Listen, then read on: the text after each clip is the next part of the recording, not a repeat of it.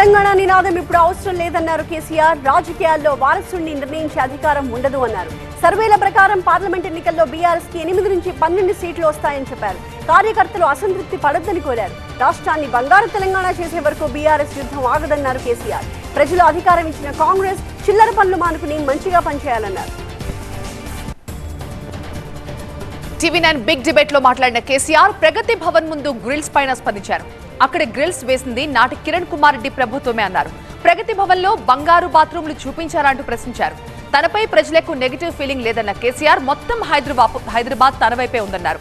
బీజేపీకి తెలంగాణలో ప్రజా పునాదులే లేవని అందుకే బీఆర్ఎస్ నుంచి వచ్చిన వారు పోటీలో ఉన్నారన్నారు.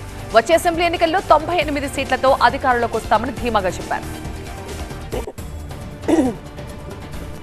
బీఆర్ఎస్ను అద్భుతంగా నిర్మించి మళ్ళీ అధికారంలోకి వస్తామన్నారు కేసీఆర్. దమ్ముంటే ప్రజాపాలన దరఖాస్తులపై శ్వేతపత్రం విడుదల చేయాలన్నారు. అన్ని వర్గాలకు మంచి చేసిన బీఆర్ఎస్ దొరల పాలన అంటూ ప్రశ్నించారు.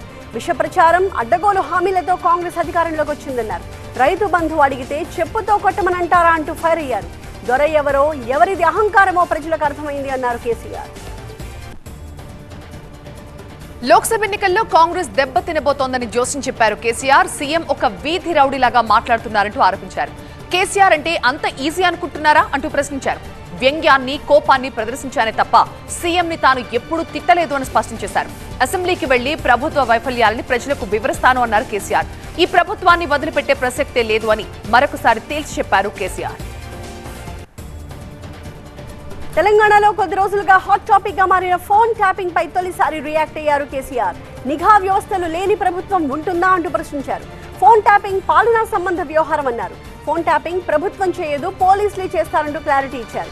ట్యాపింగ్ అనేది సీఎం కి సంబంధించిన వ్యవహారం కాదని తేల్చి చెప్పారు.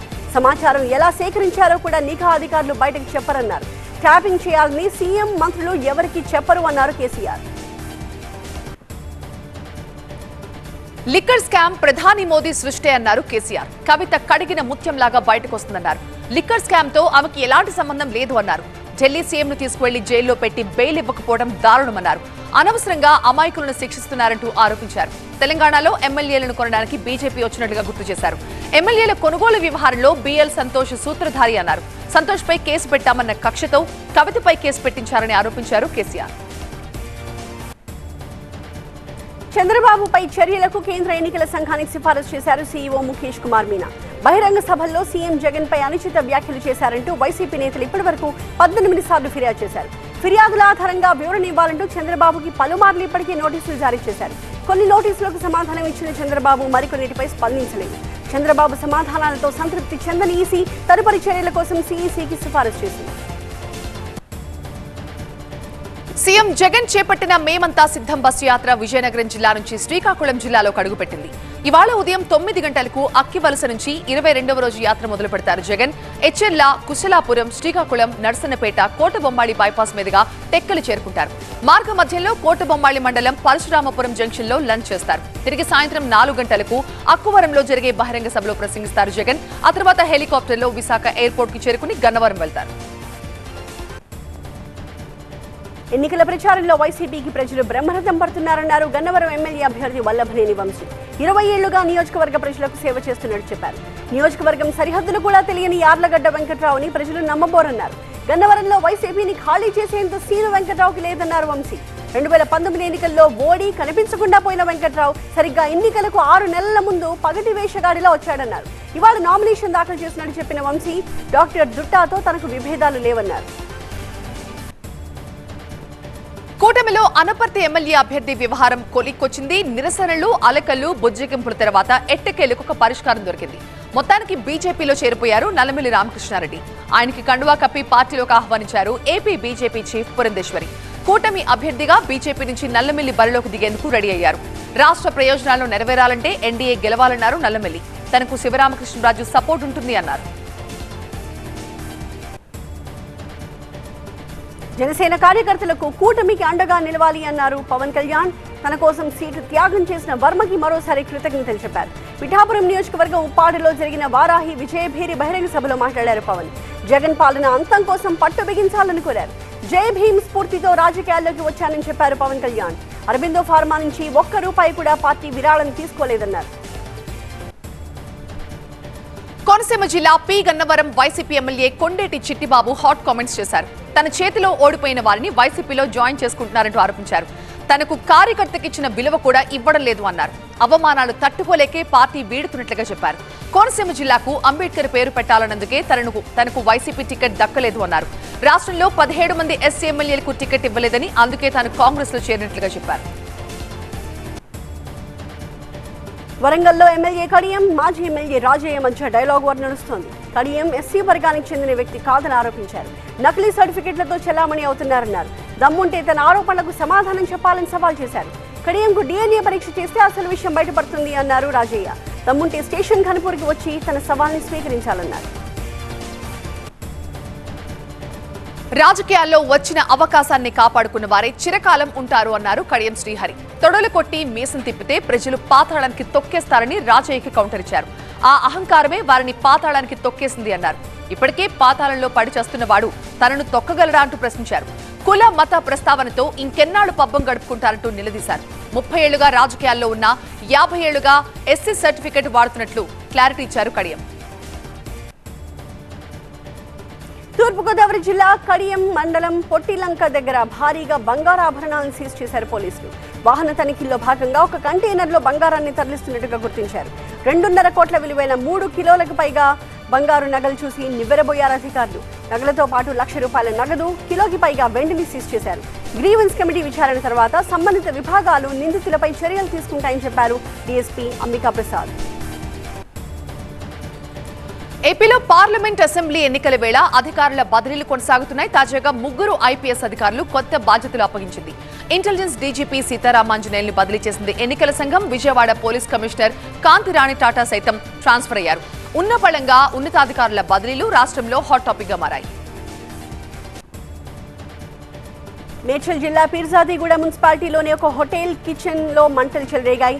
చుట్టుపక్కల వారు భయంతో వణికిపోయారు. ఒక్కసారిగా చెలరేగిన మంటలకు అప్రమత్తమైన హోటల్ సిబ్బంది వెంటనే అదుపు చేశారు. ఘటనా స్థలానికి చేరుకున్న ఫైర్ సిబ్బంది ప్రమాదంపై వివరాలు సేకరించారు. హనుమాన్ జయంతి సందర్భంగా మంచిర్యాలలో విహెచ్పి భజరంగ్ దళ ఆధ్వర్యంలో శోభాయాత్ర ఘనంగా జరిగింది. ఇక ఐబీ చౌరస్తా నుంచి రైల్వే స్టేషన్ వరకు ఈ శోభాయాత్ర కొనసాగింది. మంచిర్యాల డీసీసీ అధ్యక్షురాలు సురేఖ మాజీ ఎమ్మెల్యే దివాకర్ రావు బీజేపీ జిల్లా అధ్యక్షుడు రఘునాథ్ శ్రీకృష్ణ ధర్మరక్షణ ఫౌండర్ కేడీఆర్ శోభాయాత్రకు హాజరయ్యారు. యాత్రలో భాగంగా మహిళలు కోలాటాలతో సందడి చేశారు. నారాయణపేటలో హనుమాన్ జయంతి వేడుకలు మిన్నంటాయి. జయంతి సందర్భంగా హనుమాన్ శోభాయాత్రని వైభవంగా నిర్వహించారు. ఎమ్మెల్యే చిట్టం పరిణికారెడ్డి హాజరై స్వామివారికి పూజలు చేశారు. శోభాయాత్ర పొడవునా యువకులు డాన్స్లతో హోరెత్తించారు. ఈ యాత్రకు విహెచ్పి బజరంగ్ దళ్ కార్యకర్తలు వందలాదిగా హాజరయ్యారు. కడప జిల్లా కలెక్టర్ విజయరామరాజు పులివెందులలో పర్యటించారు.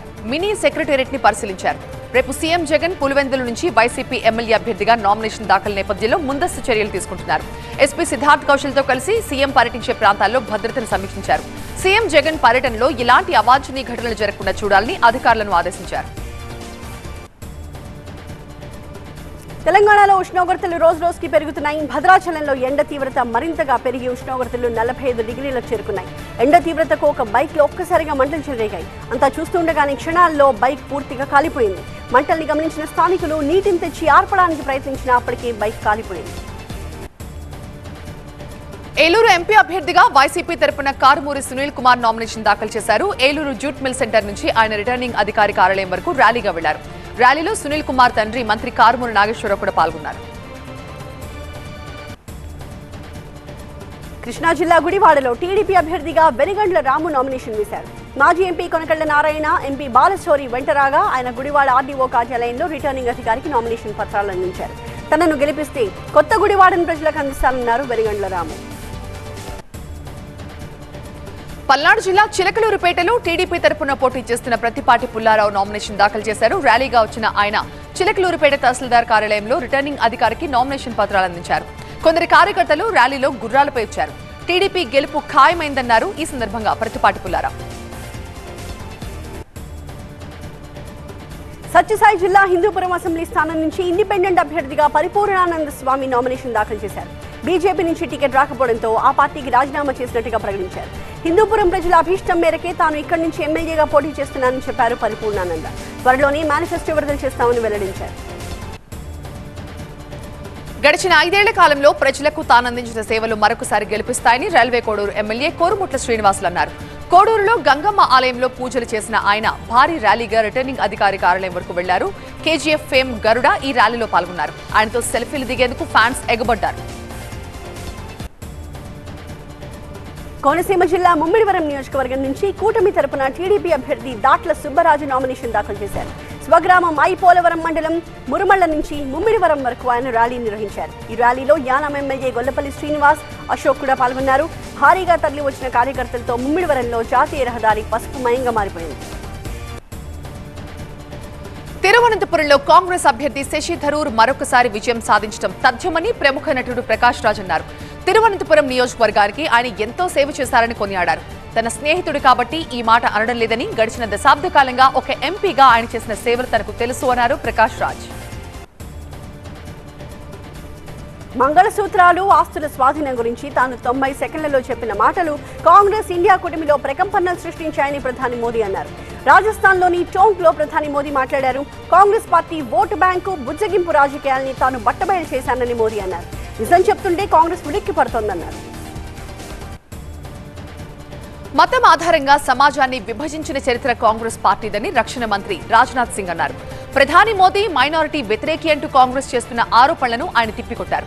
సమాజాన్ని చీల్చే రాజకీయాలను బీజేపీ ఎప్పుడూ చేయదని రాజ్నాథ్ సింగ్ స్పష్టం చేశారు. అన్ని మతాలని గౌరవించే వ్యక్తి ప్రధాని మోదీ అని చెప్పారు రాజ్నాథ్ సింగ్.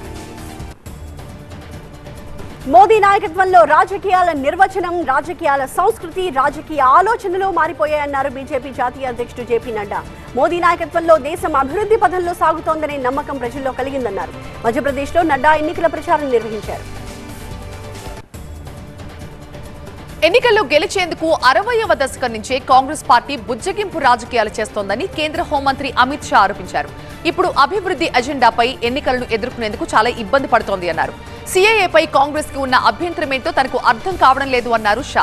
కాంగ్రెస్ పార్టీ ఉద్దేశాలను ప్రజలు పూర్తిగా అర్థం చేసుకున్నారని తెలిపారు అమిత్ షా.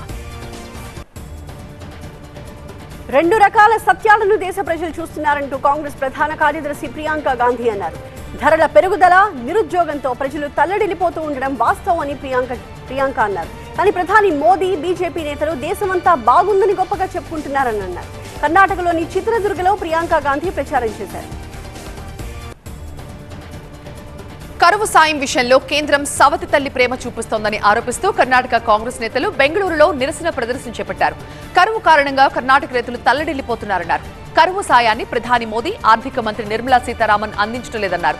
ఈ ధర్నాలో CM Siddaramaiah deputy CM DK Shivakumar Congress నేత రణదీప్ సూర్జేవాలా పాల్గొన్నారు. కర్ణాటకకు పద్దెనిమిది వేల నూట డెబ్బై రెండు కోట్ల రూపాయలు విడుదల చేయకుండా రాష్ట్రంలో అడుగుపెట్టే హక్కు కేంద్ర హోంమంత్రి అమిత్ షాకు లేదు అన్నారు కాంగ్రెస్ నేతలు. అందరినీ చంపడమో లేదా జైల్లో పెట్టడమో బీజేపీ పనిగా పెట్టుకుంది అంటూ బెంగాల్ సీఎం మమతా బెనర్జీ ఆరోపించారు. తన మేనల్లుడు అభిషేక్ బెనర్జీని హత్య చేసేందుకు కుట్ర చేశారని కానీ ఆ విషయం ముందే తమకు తెలిసిపోయిందని అన్నారు. ఆ దుండగులు అభిషేక్ అపాయింట్మెంట్ కోరారని ఆ సమయంలో గనక వారిని కలిసి ఉంటే కాల్చి చంపేసేవారని అన్నారు మమత. రాజస్థాన్ ప్రచారంలో ప్రధాని మోదీ చేసిన వ్యాఖ్యలు ముస్లింలను అవమానించేలాగా మతపరంగా ప్రజలు ప్రజలను వేరు చేసేలాగా ఉన్నాయని కేరళ సీఎం పినరయి విజయన్ విమర్శించారు. ప్రధాని వ్యాఖ్యలను ఎన్నికల సంఘం పరిగణలోకి తీసుకోవాలని కోరారు. దేశ సంపదను ముస్లింలు కబళించారనే మాటలు ఏమాత్రం సమంజసం కావన్నారు విజయన్. రెండో దశ పోలింగ్కు ప్రచారం ముగియబోతోంది. దీంతో ఆయా నియోజకవర్గాల్లో ప్రచారం తుది ఘట్టానికి చేరుకుంది. రాజస్థాన్లోని పాలీలో ప్రముఖ నటి కంగనా రనౌత్ ప్రచారం చేశారు. ఓపెన్ టాప్ వాహనంపై నిల్చున్న కంగనా ప్రజలపై పూల జల్లుతో అభివాదం చేశారు.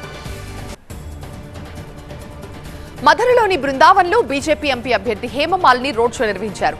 మధుర చుట్టుపక్కల ఉన్న నియోజకవర్గాల నుంచి కూడా చాలా మంది హేమమాలిని ధర్మేంద్ర అభిమానులు ఈ ర్యాలీలో పాల్గొన్నారు. అభిమానులు అందించిన తలపాగా గదా ధరించి ఉత్సాహంగా ర్యాలీలో కనిపించారు హేమమాలిని. ఉజ్జయినిలోని క్షిప్రా నది మురుగునీటితో కలుషితమైపోయిందని పట్టణంలో ఎక్కడ చూసినా డ్రైనేజ్ నీరు ప్రవహిస్తోందని కాంగ్రెస్ అభ్యర్థి మహేష్ పర్మార్ నిరసనకు దిగారు. వేల కోట్ల రూపాయలతో అభివృద్ధి చేశామని చెప్తున్న బీజేపీ సర్కార్ వాటిని ఎక్కడ ఖర్చు చేస్తుందో చూపించాలంటూ డిమాండ్ చేశారు. ఉజ్జయినిలో పరిస్థితి మారేంత వరకు ఉద్యమం కొనసాగుతుందని తెలిపారు. ఉజ్జయిని ప్రజలు తన ఉద్యమానికి మద్దతివ్వాలంటూ విజ్ఞప్తి చేశారు. నటుడు సల్మాన్ ఖాన్ వాహనంపై కాల్పులు జరిపిన ఘటనలో ఉపయోగించిన ఆయుధాలను పోలీసులు స్వాధీనం చేసుకున్నారు. ఈ తుపాకులను సూరత్లోని తాపీ నదిలో కనుగొన్నారు. రెండు రోజులుగా గజయితగాళ్ళు తాపీ నదిలో విస్తృతంగా గాలింపు చేపట్టారు. రెండు పిస్టల్స్ మూడు మ్యాగజీన్లు పదమూడు బుల్లెట్స్ని స్వాధీనం చేసుకున్నారు.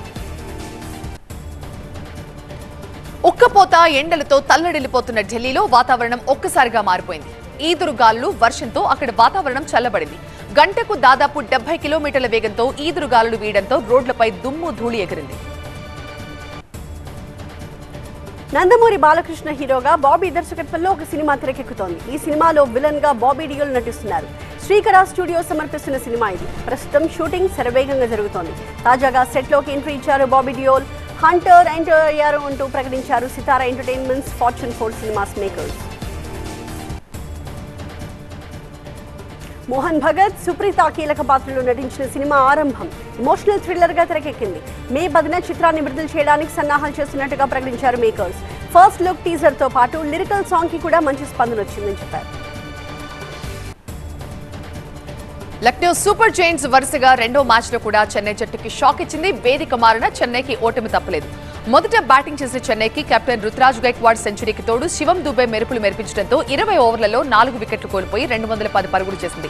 భారీ ఛేదనలో మార్కస్ సెంచరీతో వీర విహారం చేయడంతో లక్నో జట్టు పంతొమ్మిది పాయింట్ మూడు ఓవర్లలోనే విజయం సాధించింది. ఈ విజయంతో లక్నో నాలుగో స్థానానికి చేరుకోగా చెన్నై ఐదులో ఉంది. ఇక స్టోనీస్కు player of the match award దక్కింది.